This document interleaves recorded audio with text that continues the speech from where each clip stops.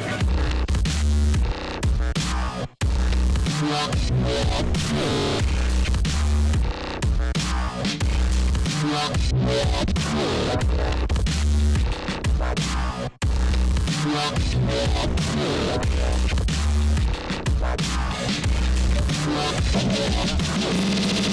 back.